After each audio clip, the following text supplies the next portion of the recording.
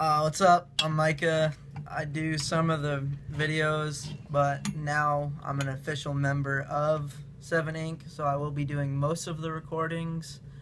I will also be in some of the reaction videos, none of the challenges due to complicated reasons that I don't want to go into.